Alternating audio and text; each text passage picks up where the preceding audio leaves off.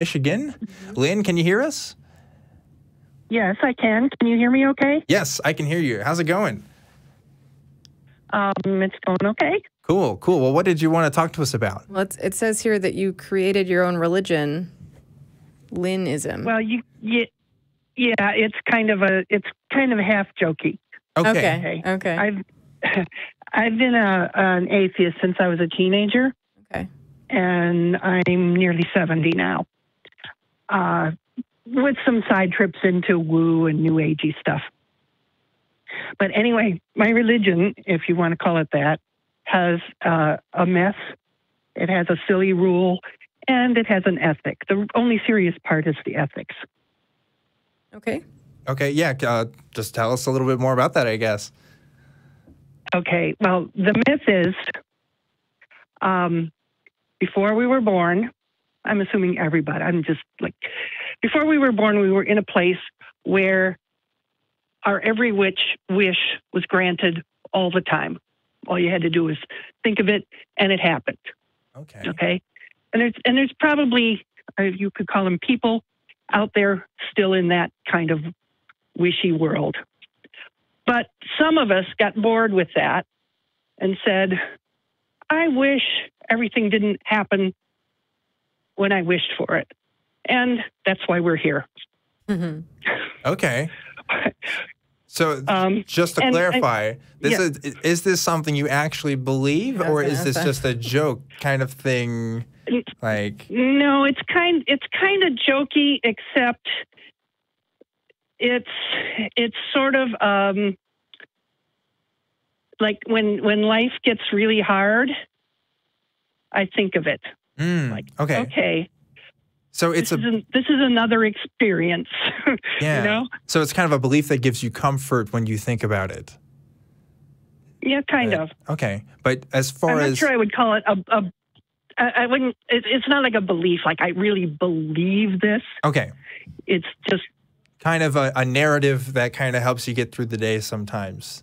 It's yeah. It's a story. Okay. So is that is the the comfort from that the sort of idea that um, that things aren't working out for you in, in one way or another because they're not necessarily required to, as opposed to there Yeah, being some sort of of. thing you've done wrong and like a plan that you failed or something. No, no. It's more like, well, if if things really were perfect, I would be totally bored. That makes sense. So let's just uh, Roll take with the this punches. whatever is happening for what it is. Yeah, Cool. That makes sense. Okay. Well, uh, was there any Okay. any other parts to this religion that you had, or was Yeah, I think she had two more parts. Okay. Okay. The the other part is is a silly rule that really only applies to me, and that is, um, don't eat anything with more than two legs or less than uh, more than four legs or less than two. okay? Anything more than So two? it applies to So only eat four-legged things, basically, unless there's a three-legged thing out there. yeah. Well, I've never encountered a three-legged thing, so. Um, Could be. Could be. I mean, uh, three. I've seen three-legged so, dogs. like- Yeah, I guess three-legged that dogs counts. is what I yeah. think yeah. so I don't I don't like fish, so that gives me an excuse not to eat fish. I okay. see. Okay. So a dietary. Okay, and I your don't your like- religion has a dietary and- restriction, is what it sounds like. Yeah. Right. yeah and, and so like i don't like i don't like seafood and um uh Right, like shrimp have, like, a lobsters whole and bunch that sort of thing so that's like that Okay. What's, Anyway, what's the final that's a silly, component? that's a silly rule what's the final component to your religion? the, the ethical part is um, four principles they're not rules but there are things that i try to accomplish every day or try to live by every day um, one is the first one is honesty the second one is empathy the third one creativity uh, creativity and curiosity okay. and Yeah. Cool. I support that. yeah. So did you did you were you calling just to kind of spread Leninism. Well, I think that, well, Lenin, oh, that's not, probably not the best. Lin- uh, Linism? uh, word for it. the ethical part, I'd, I'd Yeah. like to see more people do. yeah. Yeah. Have, have you uh, have you looked up the um, the tenets of the Satanic Temple? Satanic Temple. No, I really don't know much about that. Yeah, I've That's the thing. heard of it, but it is. Uh, they have. I think they're ten.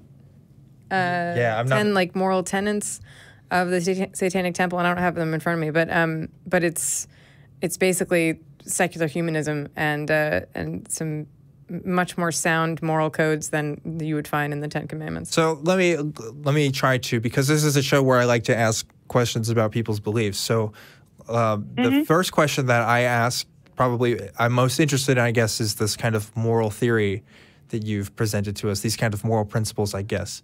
Um, you've chosen specific principles. I mean, out of a list of principles, you've you've narrowed it down to a list of five or six or so. I don't remember. So like. What is the Four. criteria? It's four. Just four of them. Okay, so like, what is the criteria you had when choosing these principles? um, hmm. Uh, criteria. I'm, I'm, I'm not sure how to answer that. Okay. Um, Or really, So- just how, I- I- how did if I you, can give you a- how did you come to narrow it I down to Yeah. those specific four and, yeah, and why if those I can four? give you a, a little bit of history on it. Okay, when yeah, I go was a teenager, when I was a teenager, I was very big into Ayn Rand objectivism Mm, kind of stuff. And I mean, really, really big into it. Read all of all of the stuff I could get a hold of. I subscribed to her magazine. I mean, I was like total Rand head. really interesting. And and when I when when Rand and and uh, Nathaniel Branden broke up, I was subscribed to their magazine at that time, and they had a a big. I mean, it was a really big blow up. I think this happened in like 1965, something along that line Mhm. and it was totally traumatic to me. It was like it was almost I think of it as it was like almost my parents having a messy divorce. Mhm. And because of that, I really took a whole different look at the whole philosophy Of objectivism, you mean? Of objectivism. Yeah, yeah. So for those of you, I just want to inform the viewers who aren't aware of what you're talking about. Uh, there was a, uh, you know, some people debate whether she was, but a philosopher uh, named Ayn Rand who um, came up with this philosophy of objectivism um, that she kind of wrote about, and in themes of her books like Atlas Shrugged and stuff. Some of you may have heard of that book, or the, there's a movie adaptation of it, I believe, um, who kind of gave Right. a way of it was simultaneously a moral theory and also kind of an economic theory. It was kind of a lot of different things pushed into one. And there was a movement of people back in the 60s or so and, and onwards of people who kind of followed this philosophy. I think I'm kind of giving the history, right? And, and you identified as one of these people. Yeah, that's Yeah. Yeah, I did. Um, but I was I was not. I mean, I couldn't be physically part of it. I was I was a teenager. I was at home. I was in Illinois, not New York. You know, and um, anyway, when I when I reevaluated it, I rejected. Mm, going on into my twenties, I continued kind of thinking about this, and um, I reevaluated the whole economic part and did a did a 180 on that and became very liberal and very um, uh, Democrat. hmm And and that's what I've been on on that thing ever since. So you But discovered I what did- was your I'm I'm curious what your method was for kind of discovering that objectivism wasn't true in your eyes. Well, I figured out that, and this is no great, no great insight, I don't think, but I figured out that number one, um, there's no such thing as a total individual. Mhm. Okay, nobody stands on their own. Yeah. So, nobody grows up without without help from somebody somewhere, at least parents. You know, Yeah. So and just nobody nobody could live on their own on a desert island and have a life. Mhm. So I don't care, John Galt or Ayn Rand or any of those. Just you know, you couldn't do it. Yeah. you would not be a human being by yourself. Yeah, so so I'm just want to clarify for the audience who isn't aware of some of these principles you're talking about. I know that Ayn Rand kind of talks about this idea of the in, I, I'm not sure the phrase you use, but basically the individual self is like the the primary thing you should be concerned about the most, uh, and that everything in your actions should be helping yourself in some way, um, and and that kind of plays into that moral and also economic Right. philosophy we were talking about. And you kind of understood that this yeah, was and and every everybody's responsible for themselves. That, that there should be no social, no social, uh, social any kind of socialism, any kind of altruism yeah, is yeah. bad. That was yeah. You That's should not do it. that was my understanding of yeah what she wrote. Um, so okay, so you so you went from believing in this individual self as the you know primary thing you should care about to going kind of the opposite direction and saying that no, you actually believe in kind of um, social welfare systems, maybe um, these kinds of systems of governance that actually do help people, maybe are a bit more altruistic in some sense. Um, and Yeah, at, at least at least to a degree, and and the older I've gotten, the the more I think that way. Mhm. and I'm Um, my my curi- my mind goes straight to I just I want to know why. Like you because Courtney and I I know we've talked to people who are so intent on their beliefs and then eventually someday they just go the other way. And Yeah. they can cite different reasons for that. Some it sounds like you kind of had a bit of disillusionment maybe in your philosophy. And like I you know, my brain immediately wants to go to okay, well what were the turning forces that kind of brought you away from that? Was it just you saw the philosophy in action and you didn't think that it, um, you know, it, it, it went through with it? You thought there were like flaws with it? Can you can you give me kind of like a breakdown of of what your mind okay. Um, the flaws in it. Uh, well, I re- I I saw more and more, and this is on a on a personal level. I saw more and more how much we need other people, and how how little. Um, let's see how to say this right. Uh, just how much how much people need people, how much commu- how important community is, Mm-hmm. and and you know just just that you can't live alone. I mean, I live alone. I live in an apartment, but I live in a society that you know gives me clean water and electricity and Yeah. education and you know all of that stuff that that you know I didn't create. Yeah. you know. Okay. So if you so your mind was kind of convinced by you you didn't see this philosophy kind of in action. So if you wanted to know if objectivism was true, like if you if you had to find a method of figuring out whether it was true or not, you'd probably have to find somebody who could work with the philosophy and truly be like an individual. But you're kind of saying that doesn't actually happen. Like people don't really operate that way. Is that right? Um, I don't think there is such a person. Hmm. Hmm. Okay. because even, even though there are people that think they may be, you know, total individuals, um, and are, you know, totally self-made person, um, they're forgetting that that person had, they had a society behind them. They had schooling, they had education, they had parents, they had, you know, Mhm. society gave them a whole lot before they started out on their own. So, are you, are you talking about sort of a um, a tabula rasa kind of thing where people are uh, sort of blank slates and then they're uh, shaped by the culture around them? Um,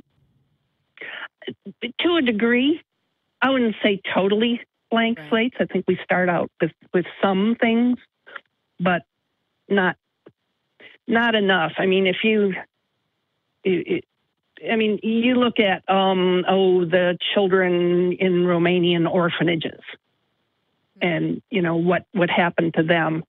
I mean, or or uh, feral children who are you know grow up in the in the woods somewhere. Right. You know, they're they're barely human. You know, they can't function. Yeah, I've seen uh, uh, at least one documentary on this. Uh, these kind of feral children that kind of grow up some some period of time without any human contact at all, um, and they can't speak languages. Like they seem to be able to um, be kind of slowed down in their learning processes in some way, and it's it's um, scary to think of what that experience must be like to be completely by yourself. So, yeah, I, I think that's a great example actually of somebody kind of being completely on their own and what that does to somebody. It's it doesn't seem very healthy. Yeah, there is a a, um, a window of opportunity in terms of learning, especially language ability. Um, and Yeah. we learned that from some really unfortunate cases, including uh, what was called the Jean case, which was a young lady Yeah, named Genie. Jean. Yeah. Um, so she, for those who don't know, she um, was raised sort of in a cage, uh, and she was never spoken to. She Uh, was no, never she potty was trained, she was isolated in a bedroom in the Right. dark, and and sort of her like father forbade confined, anyone yeah. from talking to her until she was she was like 13 when she was found. Yeah, and then I, I believe she died at 24.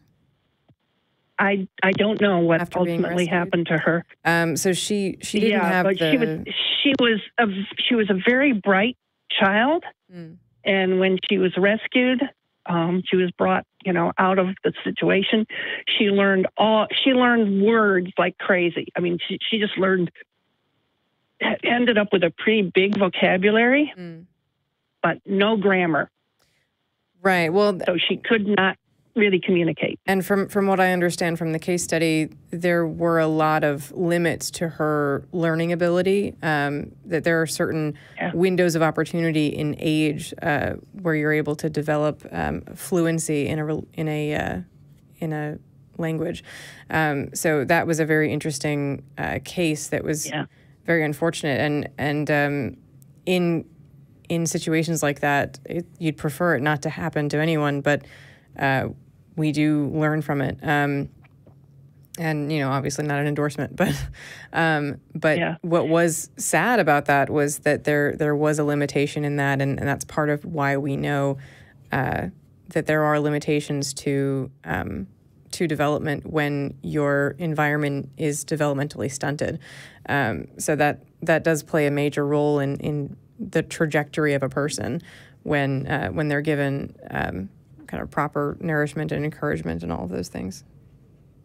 Right. Yeah, for sure. and anyway, in in general, we you know nobody nobody can really raise themselves. No man is an They have to be island. part of a society. Yeah. Yeah. Exactly. I get that. Well, Lin, your religion sounds pretty good to me. uh, I like it so far. It sounds very altruistic. Sounds very nice. Sounds um, sounds better than what you had before. You know, um, it sounds like you're happy about it too. So that's that's always good to hear. I'm I'm pretty good with it, but just just one question okay. I'd like to ask your audience or anybody that cares about it. Has anyone? I'm not sure if I the myth part about being living, you know, in a place with no with no limits, with just every wish granted. I'm not sure if I made that up or if I heard it somewhere. I don't know. I've, It, it I, is amazing how often that happens where we're like, did I make this up in my head or Yeah. or have I heard it? Yeah. I don't think I've heard it before, I but It it did sound like um, the uh, Children of the Corn kind of thing. Um, I can which see you can say that. Yeah. um, it sounded well. There was a there was a Twilight Zone uh, in the original series uh, around the fifties where there was a child who, if they didn't, it was kind of the opposite. If they didn't like something, they could wish it out. Oh of, yeah, yeah. yeah. Wish them to the cornfield. to the cornfield. Yeah, and I and uh, so that was an interesting. I thought of that when you mentioned it, um, but it's it's interesting how much we uh, sort of take popular culture as much as uh, previous religious beliefs, and you see that with um, personal accounts of UFOs and things. Um, what what people claim Yeah. to see uh, based on their their therapy they've gone through and and trying to like recount what they've seen. Uh, usually is very similar to what people have popularly seen in movies. Um, and so it's Yeah. it's well, I incredible know I how did like see that what we know Twilight is Zone as a child, so yeah. maybe so. I did see that Twilight Zone as a child, so Isn't I did that, too. influenced me. Isn't that interesting how our memory can affect us in ways that we don't even consciously realize? Um, if that's Yeah. the case with your religious belief, I, I can't confirm it whether you stole that from somewhere or not, but I think that is interesting, probably something to look into. Yeah, that's For an interesting thing about about creativity too. Things like uh, music, when um, it's impossible to separate your own inspiration and creativity from your previous influences of music. You know, it's i- impossible to completely separate it and be completely original.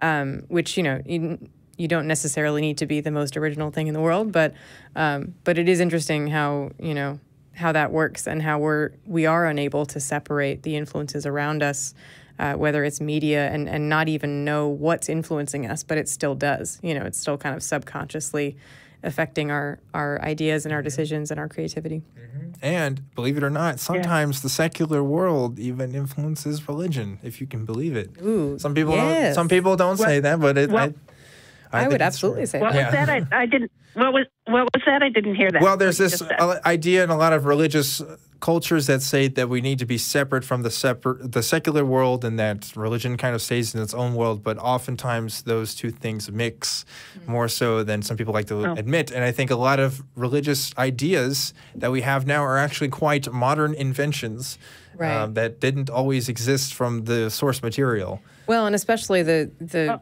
Morality, you know, the the Oh, yeah, the, well, the moral for sure, stances our- have yeah they've progressed because of secular society For- having an influence on sure. belief. Yeah. Well, Lin. religions religions have changed. Yeah, Right, I think so too. But I, because we value community That's and true. being accepted. That is so, so true. But I think we're going to go ahead and try to wrap up the show for tonight. Thank you, Lin, for calling. That was a really interesting conversation. And again, I, I like I like your religion. I think you should spread it. So keep, keep up the good word. Spread it. Okay. All right. I'll I'll um I'll have to to send some some uh, what do you call it? some disciples out to prosper. Yeah, sure thing. We'll see if it looks the same 2,000 years from now. Um, but uh, we'll, Yeah. we'll get back to you on that. Okay. You have a great night. okay. Bye bye. Yeah, yeah. Really. Really,